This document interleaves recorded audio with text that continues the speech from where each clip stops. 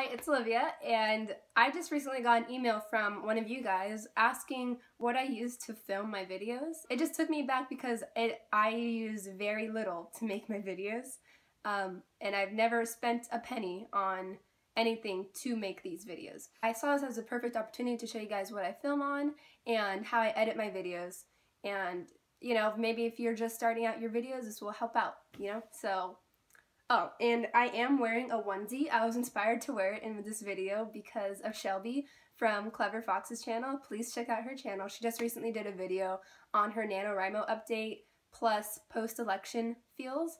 Uh, great video, but at the end she was showing off the onesie that she was wearing and it was awesome. So let me show you this onesie because I don't think I'll be able to pose as cute as she did, but you know, let's see. And ta-da! And it's a footy onesie. So here are the, oh wait, no, those are my toothbrushes. There you go. Um, isn't there a name for this monkey, by the way? I could have sworn I've seen it in like a commercial or something. I don't know. As you probably tell, I film on my iPhone camera. That's what I've always used. It's the only camera that I own currently. And you guys, right now where I sit, my bed is like, you guys are where my bed is, the foot of my bed. And so on my bed, you guys are being held up by my Vampire Academy books. um, for some reason, like those six stacked up on top of each other just make the perfect height to place the phone on. So that's what I've been using. You guys have been sitting on all the Vampire Academy books. and then normally the lighting in the room, I just try to film in the day and I just open up my blinds and the lights, I don't know if these have had any effect at all in my videos lately. And then when it comes to editing, I have a MacBook which comes with iMovie. And so the grand total for money spent on equipment for my videos is zero dollars. I plan to continue filming them like this for a little while. The only change will probably be next week. I love all forms of art and I especially love photography but I haven't been able to express and delve into that because I don't really have a professional camera and I don't want to try to even I, I don't feel like my my work would come out as well without a quality camera, you know? And I just haven't been able to afford one at all. But my coworker was so kind and was offering me his used one.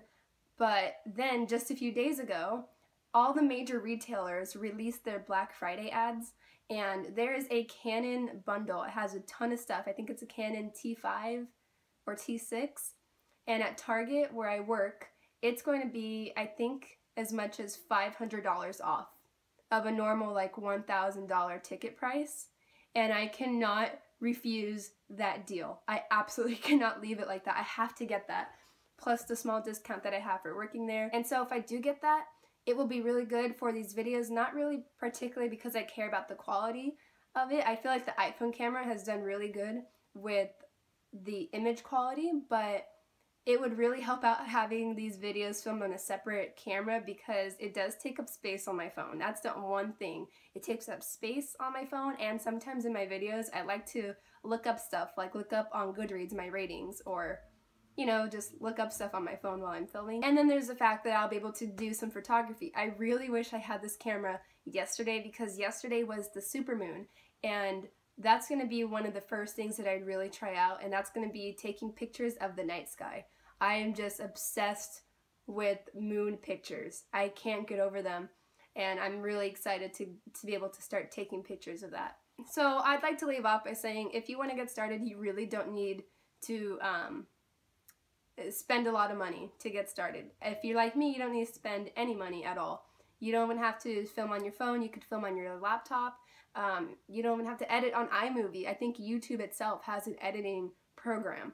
Um, so definitely don't worry about not being able to spend money on quality stuff because here I am with just my phone, my books, and iMovie. So thank you for watching and I'll see you in another video. Bye!